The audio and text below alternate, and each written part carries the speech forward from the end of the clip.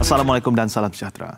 Perbadanan Pembangunan Perdagangan Luar Malaysia Matrade menyasarkan pelibatan sebanyak 13,000 syarikat-syarikat tempatan menerusi penganjuran pelbagai program pada tahun depan bagi memperkukuh daya tahan global khususnya dalam era pasca COVID-19.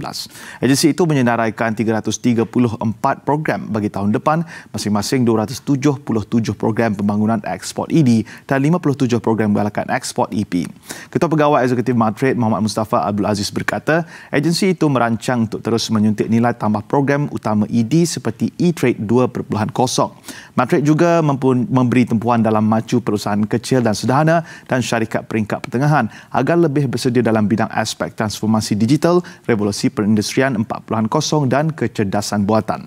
Agensi itu juga merancang membantu syarikat Malaysia menembusi pasaran antarabangsa dengan mengetengahkan unjuran pasaran yang dikemas kini selain menghubungkan secara maya antara pembeli asing dan syarikat tempatan menerusi rangkaian 46 pejabat Madrid di luar negara.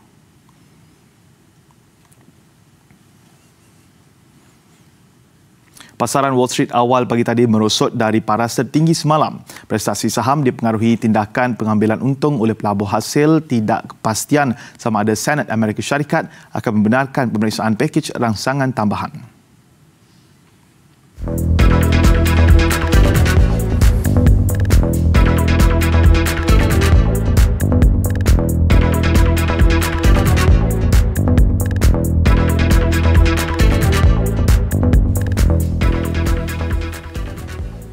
Sementara itu, majoriti pasaran saham utama Asia diniagakan kukuh pada sesi awal dagangan hari ini.